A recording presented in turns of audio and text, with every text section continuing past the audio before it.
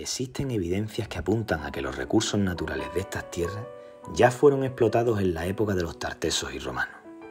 No se tuvo más noticia de las explotaciones hasta 1564, en tiempos de Felipe II, cuando se registra el primer denuncio minero de la zarza. A mediados del siglo XIX surge la verdadera reactivación de las actividades mineras, donde cobra especial importancia el ingeniero francés Ernesto de Ligny, que en 1853 solicitó la inscripción de las minas de la zarza, iniciándose así el resurgimiento de una de las principales y primitivas actividades económicas de la zona.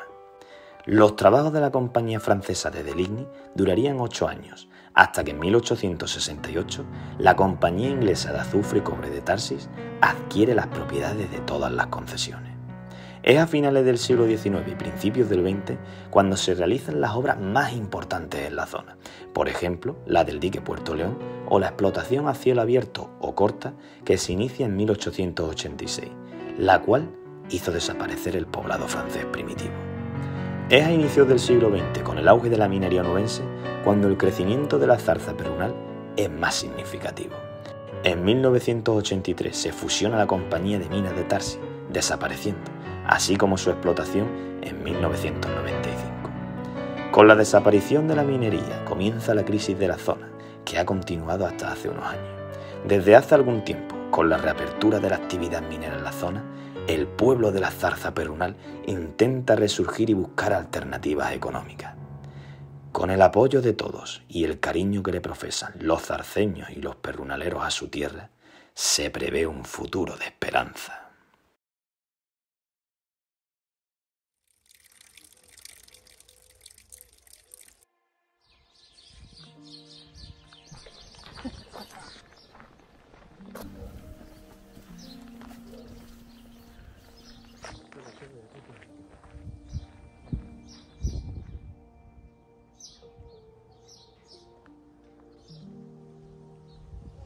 La Zarza es un pueblo minero pensado y construido para alojar a sus trabajadores y a sus familiares cerca de su lugar de trabajo.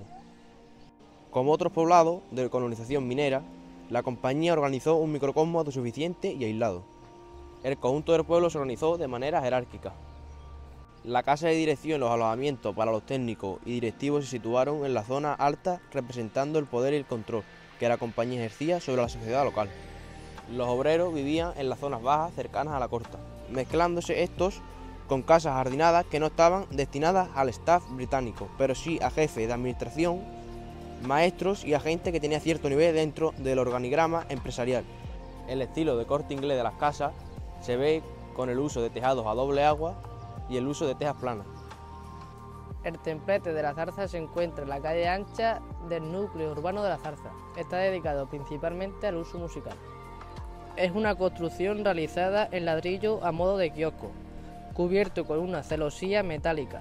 El acceso es a través de dos escaleras laterales. La música, el teatro y la educación son elementos de la cultura que fueron fuertemente potenciados durante el periodo británico de explotación minera en la provincia. La Corta de Zarza es el resultado de la explotación minera en superficie desde los años 1886 hasta finales del siglo XX. Tiene una profundidad de 160 metros y actualmente se encuentra inundada hasta la altura del piso 14. La chimenea del pozo número 4 de la Zarza está situada junto a la casa de máquinas. Esta chimenea estaba destinada a expulsar al exterior los gases producidos por la combustión de las carreras. Está construida completamente con ladrillo refractario. Es de especial resistencia al calor y de un tono rojizo. Los malacates eran máquinas de tipo cabestrante de eje vertical. Era muy usado en las minas para extraer minerales y el personal en jaulas. La planta de decantación servía para recoger y decantar el material desaprovechado en mezcla con los lodos. Las aguas ácidas eran evacuadas de la corta y canalizadas hasta el embalse de canaleo. Una vez allí, el agua ácida se hacía circular por los canaleos.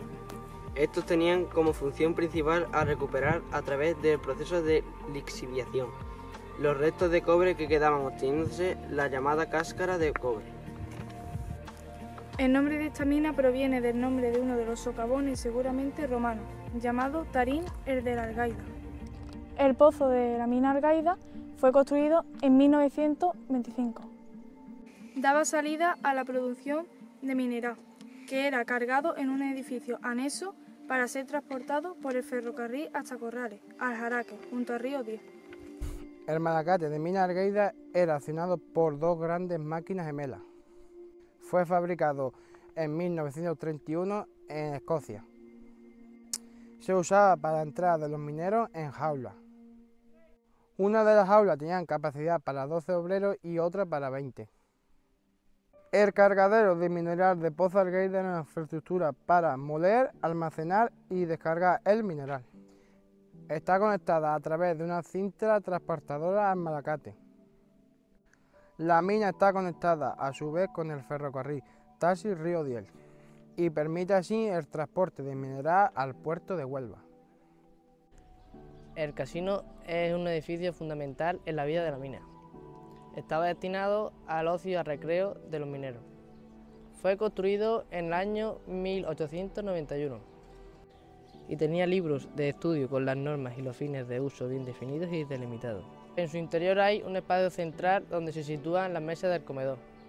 Al lado están los espacios de la biblioteca, un pequeño comedor y la barra que comunica directamente con la cocina.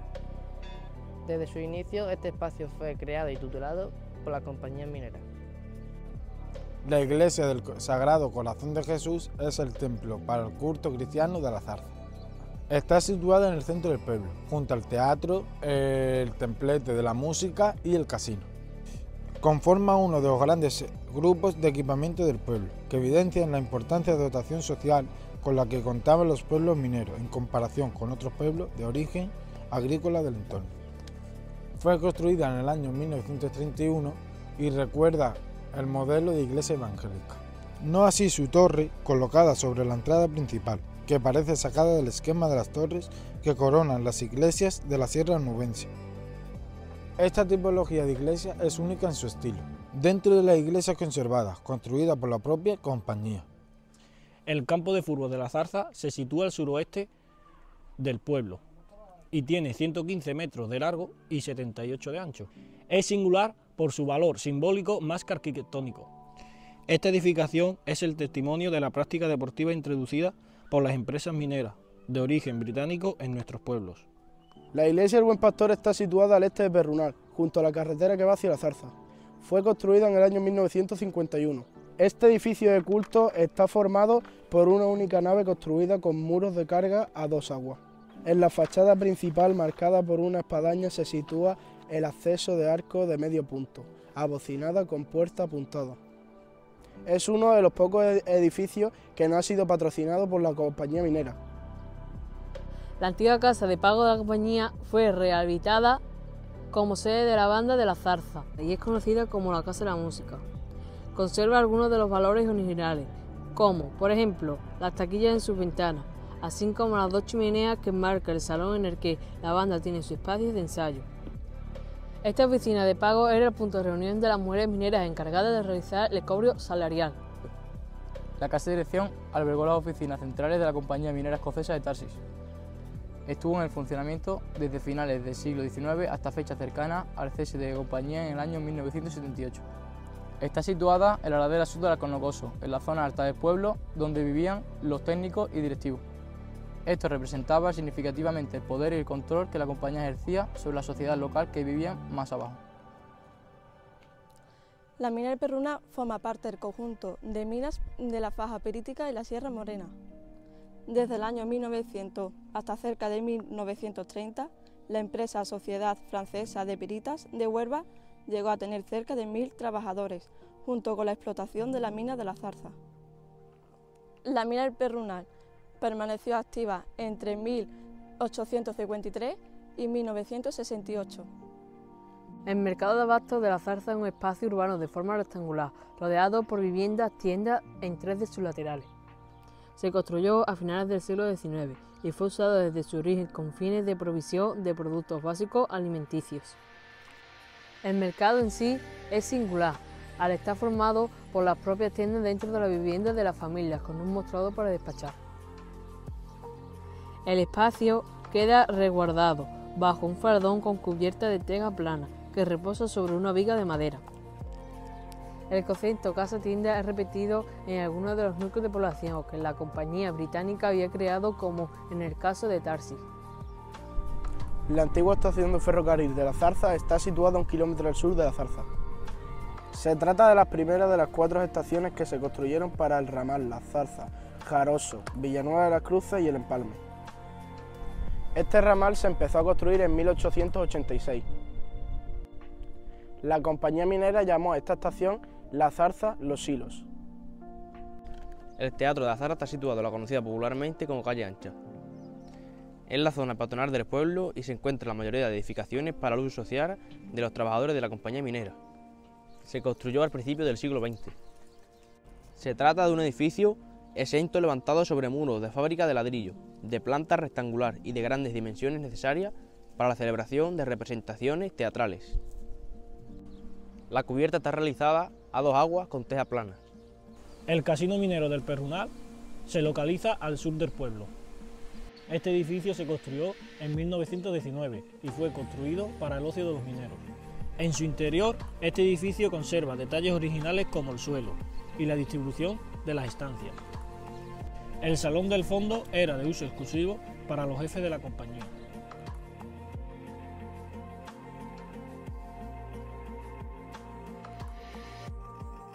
El envase de Puerto León está a unos 900 metros de la zarza.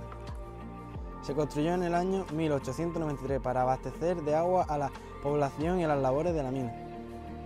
Se usa para los baños en verano.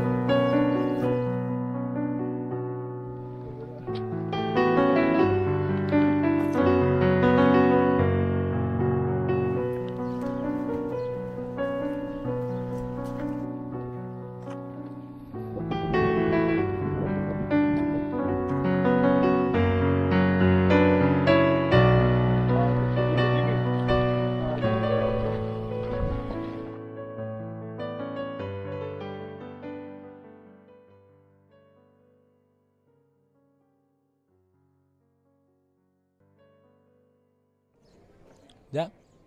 El malacate de mina... Eh, el malacate. ¿Está bien?